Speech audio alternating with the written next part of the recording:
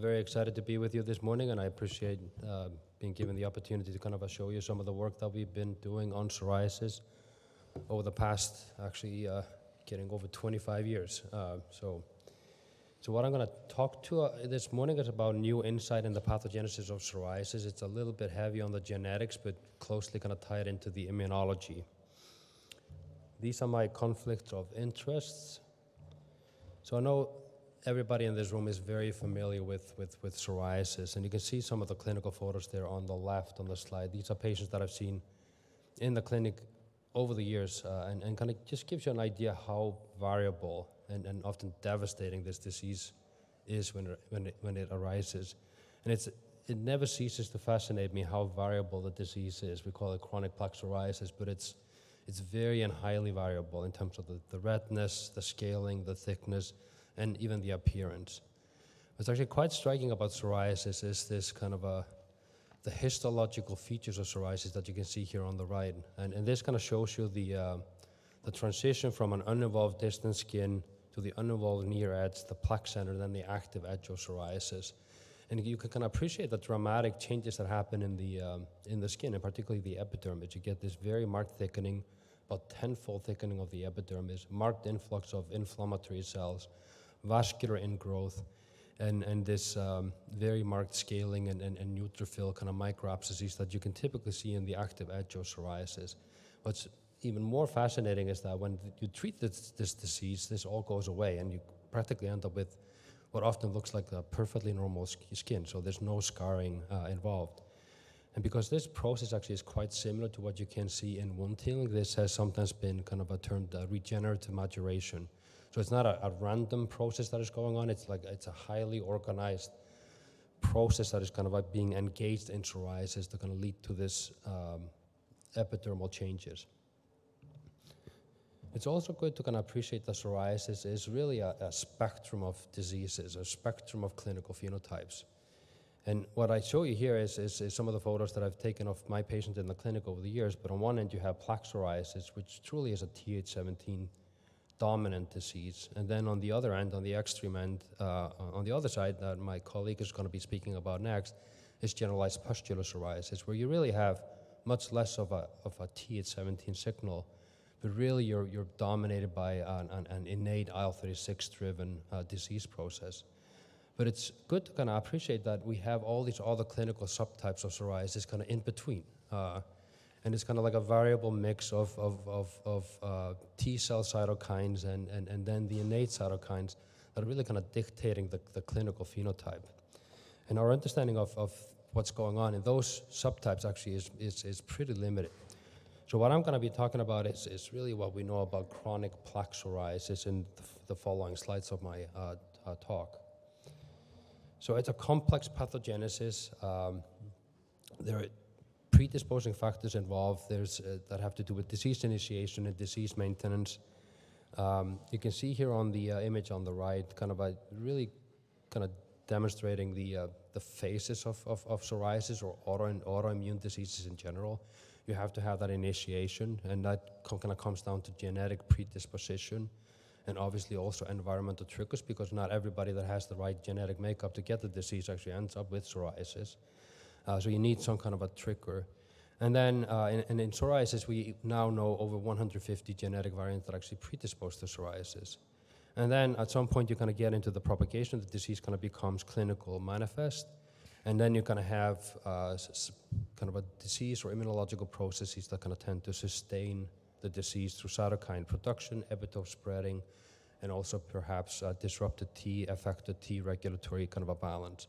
And then the thing that we are really and typically missing in psoriasis is really the resolution phase. Uh, we know that from our patients, most of them will never have a, a remission. It's a chronic disease. Um, and, and in terms of the links to the uh, immunology, uh, and, and, particularly the link between the genetic and immunology is not well established yet, but there are plausible roles in interferon antiviral signaling, epidermal differentiation, autoinflammatory responses, and obviously IL-23, IL-17, responses play a major role, antigen presentation, TNF, NF-kappa B signaling, and then T cell development, like I will get to in a, in, in a little bit. Uh, this shows you kind of the, the, genetic signals that we have identified in psoriasis. This shows you uh, the signal across the 22 autosomal, autosomes in the, uh, the human genome. You can see a lot of green and red peaks. So this is where the status is, and the, the one that really goes up to a p-value of somewhere between 1 in the power of 1500 to 2000 is the HLA-CW6 variant on MHC, uh, in the MHC region on chromosome 6.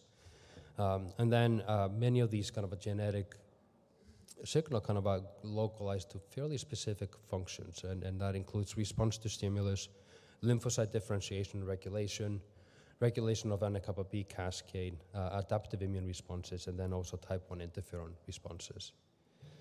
And it's quite helpful. This is actually, you know, where we have kind of tried to link together the genetics with the single cell data. And what you have here is a, is a heat map, and I, I apologize, it, it's fairly complex. You have the genes here on this end, and then you have the different cell types. But what you can see is that when you look and where you kind of map the genetic signal onto the cell types, you begin to kind of see, you know, patterns. So you have these kind of genetic loci that are linked to T cells, dendritic myeloid cells, uh, keratinocytes is a major cluster, and then also fibroblasts. So it, it really tells you that psoriasis is a multifactorial a multicellular kind of a disease process.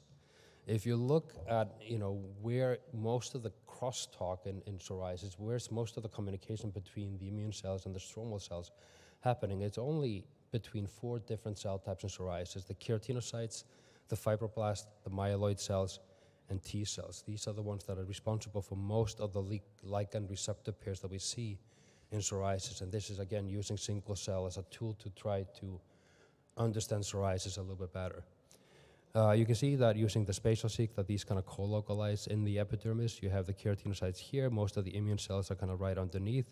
And these are in close proximity using these kind of a neighborhood type type analyses.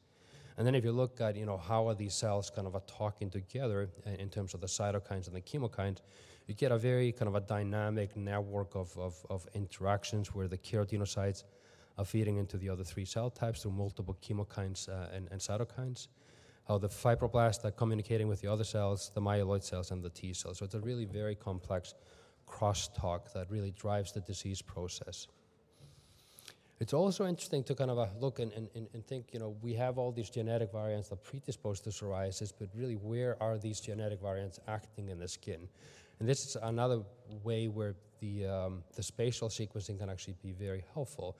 So we're looking at a gene expression across the tissue here, and we have kind of overlaid the, uh, the single cell sequences and, and signatures onto the map. And you can appreciate the keratinocytes are here on top, and then you get the other cell types here in the, uh, the dermis and the epidermis. And then if you look at where is the genetic signal really mapping, no surprise, it's actually right there in the epidermis and the epidermal dermal junction. That's where the activity and the action is really is going on in psoriasis. That's where the disease process is, is, is happening.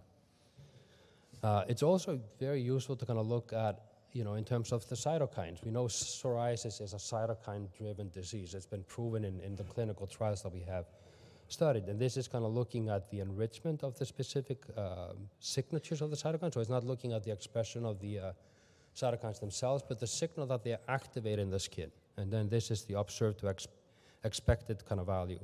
What you can see here is that if you look at the ones that are most enriched, it's actually IL-17A and TNF signal.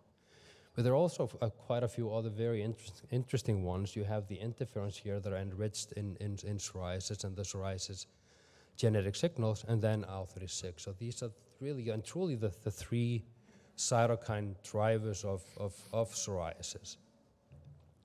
And what you can do is, is this is kind of looking at lesional severity of psoriasis. So we're looking at the individual lesion in terms of the redness, the thickness, and the scaling, and we're kind of grading that in terms of um, the severity. So normally you have that, that here on the um, on the um, on the left uh, and, and, and, right, and then it's the G1, G2, G3, and G4. So G4 is the most severe, the thickest, scaliest, reddest kind of a lesion.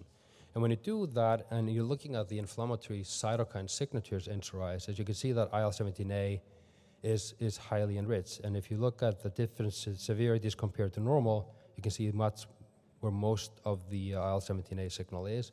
If you're just comparing the different severities between themselves, you can see there's an IL-17A signal, but much less than actually in the disease itself. If you kind of look at the disease versus normal itself, that's where the interferon signal is.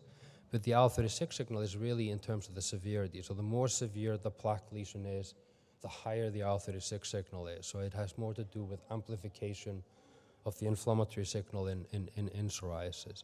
So you can kind of think about it like, like, like this. So across the different severities of, of psoriasis, it's really IL-17A and TNF that kind of define the disease.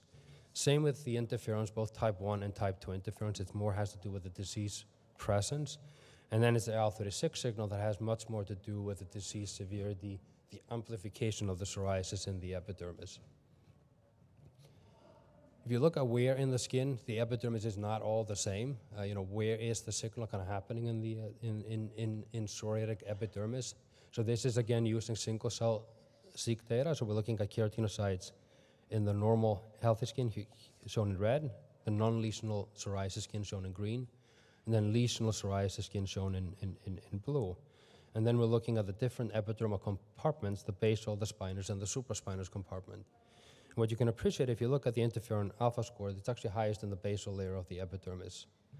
IL-17A is in the supraspinous compartment, same with TNF and IL-36. So it kind of gives you an idea that there's this kind of compartmentalization going on in the uh, epidermis in psoriasis. And that's also, if you look at where things are most active, and particularly the IL-36 activity, it really is happening in the supraspinous compartment of the epidermis. That's where you're really getting that amplification of the immune response. And kind of going back and kind of tying together the, the, uh, the, the, psoriasis and the immunogenetics of psoriasis. So what I have here is, is you have, you know, the dendritic cells, you have the Th17 and Tc17 cells over here, and then the Th17 cytokines over here. You have the different genetic risk variants that predispose to the disease shown in the boxes, including oxidative responses, IL-23 signaling, Th17 differentiation and responses, uh, and then the, the downstream effect here on the keratinocytes, where you have that amplification circuit that is, is highly active in, um, in, in, in, psoriasis and really is even more amplified by IL-36. You also have the, the Th1 axis of inflammation that involves uh, interferon gamma through uh, Th1 and TC1 cells. There are multiple different genetic variants that kind of lie on that end of the immune spectrum. And then you have the type 1 interferons, uh, particularly the uh, plasmacytoid dendritic cells that we know have been implicated in triggering of psoriasis. It's also interesting, you know, we, we never talk about interferon gamma in psoriasis, and, and, and, and, and, and, but there's a very, you know, clear role for interferon gamma, at least in, in plaque psoriasis. You know, psoriasis, uh, plaque psoriasis is, is an autoimmune disease. The strongest genetic signal that we have is MHC class 1 in some of these uh, genes that are involved in antigen processing and, and, presentation. So what you have here on the left is the MHC class 1 pathway. I'm showing you MHC class 1, HLA-C6. We have four different risk genes involving in this signaling pathway. You have the ERAP1 and ERAP2, which are involved through aminopeptidases. They have a role in trimming of, of amino acid peptides. And then uh, if you look at where they're expressed in the psoriatic epidermis, they're actually highly expressed particularly in the, the basal layer of the epidermis. And if you look at the cytokine signals that really activate this uh, mechanism in psoriasis, it, it really is much more interferon gamma, the type 2 cytokines, than IL-17 or TNF. Th1 also has a role in terms of amplifying uh, IL-17 responses. So this is a study that we published about 15 years ago in JI. Um, what we showed is that if, even if you take normal, healthy antigen-presenting cells and you prime them with interferon gamma, you get a lot more IL-17 positive T cells in a co-culture system. If you use uh, psoriatic antigen-presenting cells, you get even more, and interferon gamma really amplifies that, both in terms of proportion of Th17 cells and also in terms of IL-17 production. Interferon gamma primes keratinocytes to make more CCL20, which is the key chemokine that brings in Th17 cells into the skin. And it also amplifies production of antimicrobial peptides such as human beta defensin 2. So really, interferon gamma acts with IL-17 in psoriasis to kind of amplify inflammation. So kind of going back to this, and again, it's a very complex slide, um, but it can be quite kind of informative in terms of how we look at psoriasis. You have the Th17 arm over here and the, uh, the interferon gamma, and this is really is the establishment of the disease or maintenance of disease. The plasmacytoid dendritic cells are much more in terms of the triggering of the disease, the unstable psoriasis that you see in the clinic. And then the IL-36 axis is really has much more to do with the lesional severity of the disease, and, and, and particularly when it kind of gets out of control, the generalized pustular psoriasis variant of, this, of the disease. So kind of going back to kind of summarize, so psoriasis is a complex genetic disease involving multiple immune and stromal cell populations, which, which the crosstalk drives the disease process. Cytokine signaling is a critical circuit in psoriasis pathogenesis, uh, and it's well established based on the clinical trials that we have that IL-23 and IL-17 are really and truly the critical cytokines in the, the disease mechanism. They really are the ones that define psoriasis as an IL-17 centric disease.